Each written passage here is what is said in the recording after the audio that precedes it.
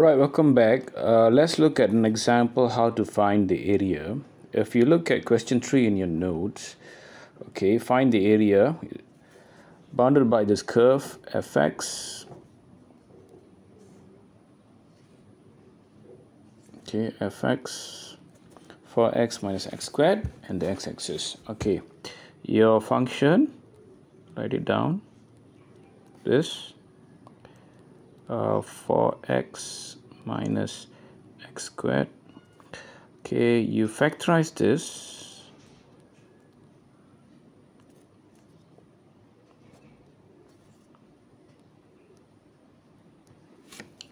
Okay this is fx. Okay let it be equals to 0 to get what we call the x-intercept. So you have two values which is x equals to 0 and x equals to 4 okay it's very important for you to sketch. Okay sketching with a sketch and a diagram you have an idea how to find the area.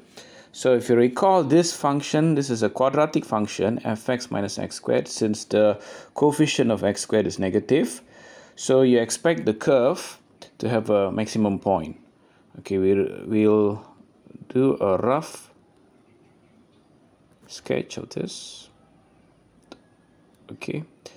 So the y uh, sorry the x-intercepts is 0 and 4 and you are interested in finding this area. Okay.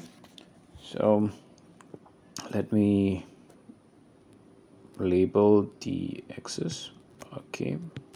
Okay to find this area you can use the integration formula. Okay.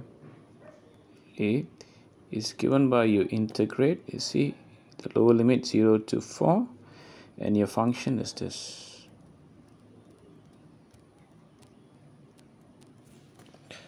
Okay. Now you integrate your a right? As you integrate 4x you get 2x squared and you integrate x cubed will be x cubed over 3 okay so this is a definite integral. Okay. And then you substitute the values. Show the substitution it's very important for you to show the substitution. Okay you get minus 3 4q minus 3 and then this is just going to be 0 okay as you simplify this right the value will be 32 over 3 and do not forget to add your unit squared okay. So the area in the first uh, quadrant bounded by the function fx and the x-axis. So as uh, as you go through this example as you can see